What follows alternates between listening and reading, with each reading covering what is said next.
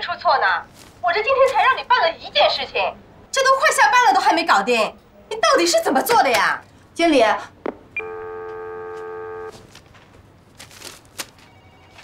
我知道你是故意，我告诉你，照老规矩，你究竟报不报？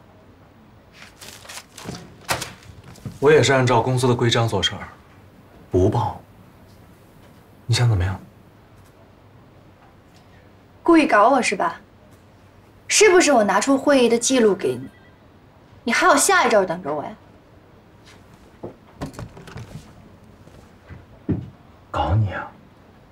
我当然是搞你了，我早就搞过你了。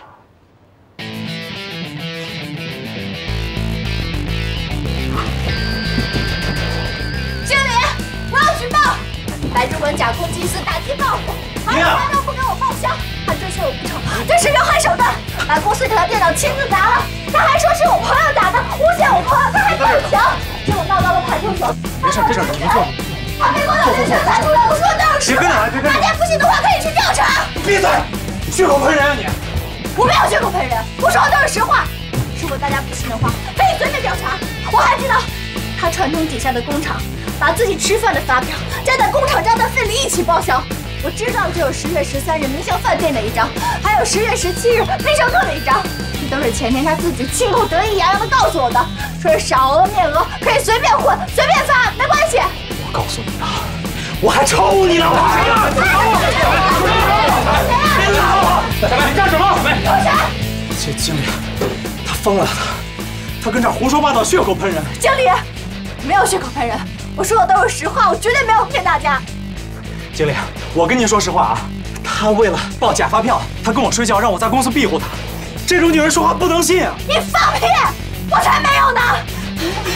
查电脑，查账，现在肯定都能查得出来。我告诉你，我绝对不冤枉一个好人，可是我也绝对不会保护一个蛀虫。你就不是什么好人！你才不是好人！你要不要脸？你才不是好人！了，发泄出来就好了啊！别别哭了，别哭了，财务部已经去查账了，消息一会儿就到。别哭了。真是没想到，这个白主管平时看起来人模人样，内里竟是这样的货色。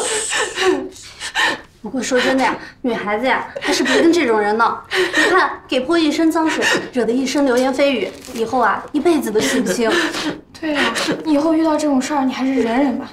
像那种臭男人，早晚会有人对付他。我自己就能对付他，他觉得我搞欺负是不是？我才不觉得呢。不过就是，就是经理出差的那个备用机还在报销单上呢，让我能不着急吗？你们帮我去催催那个那个报销单。行，如果经理今天下班，那那个报销单你可就完蛋了。我好了，知道了，别哭了，别哭了，别哭了。不用管我，我想自己静一静。你们先走吧。那你一个人在这静静，我们先去弄报销单。你 别哭了，我这个男人。走啦。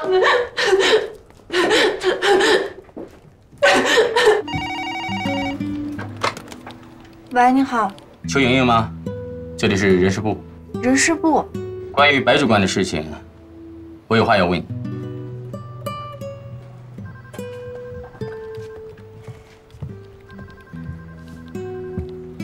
真是看走眼了，邱莹莹，你给我等着。等着就等着，不怕你。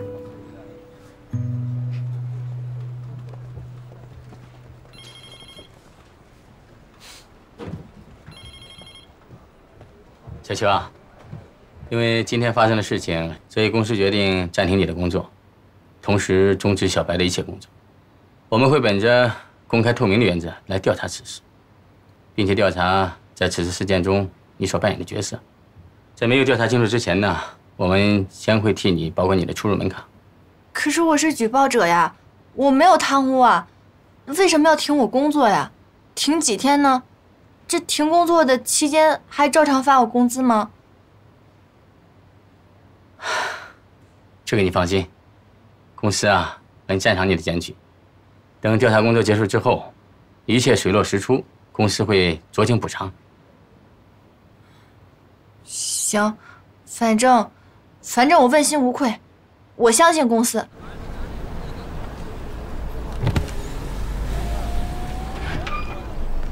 安迪姐，哎，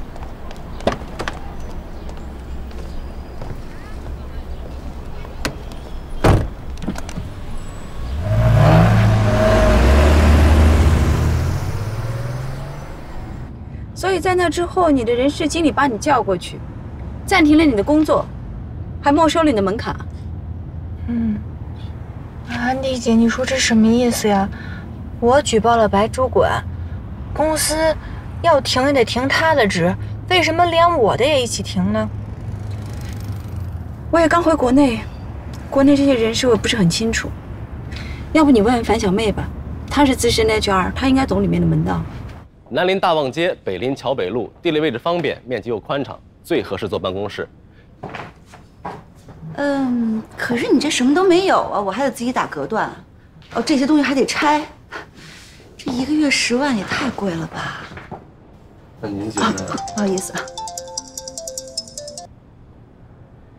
喂，哎，樊姐，我莹莹，那个，我我有点事儿，现在想问你。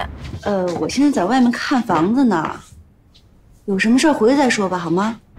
行行，好，那那行，先这样，拜拜。那行吧，樊小姐，您要是不满意，我再带您看下一套。嗯，好。安迪，我这心里特别不踏实，你你要不跟我再说点吧？你说什么都行，我现在老胡思乱想。可是我不太熟悉人事的那一套，我能给你的也只是一些不专业的意见。不过我刚才听你这么一说，我觉得你的那个人事经理，应该在平时就不怎么善待你。你怎么知道的？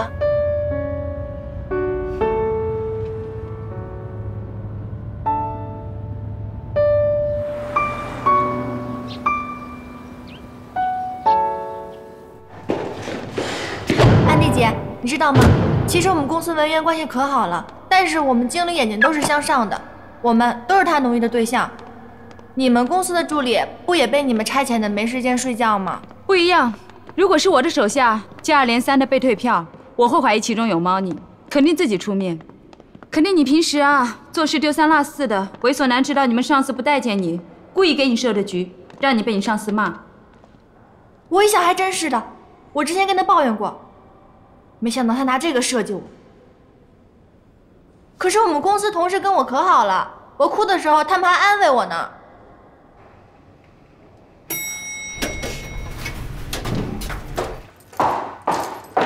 姐，关关，哎呀，关关，累死我了！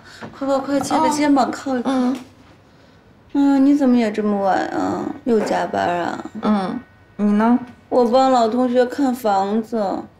哎呀，你是不知道，现在房价高的离谱，别说去买房子了，就连租房子都贵的要死。